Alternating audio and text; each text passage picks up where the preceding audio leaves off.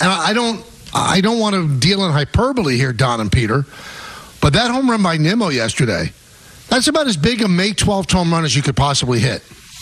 Because if they get swept by the Braves and their offense completely stalls, we're all talking, you know, the, the Sands are running through the hourglass a lot quicker than we thought. They almost got no hit um, on Friday, Almost. which would have been unbelievable. Max Fried was amazing. And with two outs in the ninth inning, J.D. Martinez hits a home run. Now in the ninth inning yesterday, know, it looked like he was hurt on Saturday. Brandon Nimmo hits a two-run home run, a walk-off home run, so they take one out of three. Now they begin uh, um, a four-game set against the Phillies. It's a good litmus test for the Mets, but things have to. Adam Ottavino said it best on. The pitching has to be really good and the hitting has to click for them to win. There are times when those things don't happen and they look like a really bad team.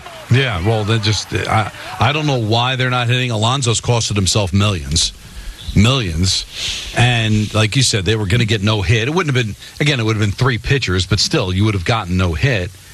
And then the home run, which ended up being meaningless in a four-one game, but then the exact opposite. Yes, you're you're on your way to getting swept, and and, and in the worst fashion possible, and then staring four games against Philadelphia, who you always struggle against. We talked about how this could be a defining moment in this season, Michael.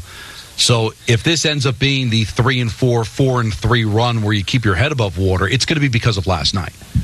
If, if last night doesn't happen, they lose that game 3 2, you could be staring in the face of maybe winning one of those seven games and then maybe burying yourself. Now you feel like you have some hope. And I love the fact they're playing today, get right back at it, and then see what you can do in these next four.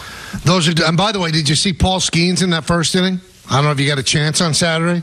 Throwing 102 miles an hour. he Oh, struck out the God. first two guys, then a walk, then a deep fly ball to center. He had four strong innings, but that guy's the real deal. I just don't know if he could hold up throwing that fast so often. But uh, they'll just take him as far as they could take him. And, you know, it, it seemed like a playoff atmosphere at PNC. It was unbelievable.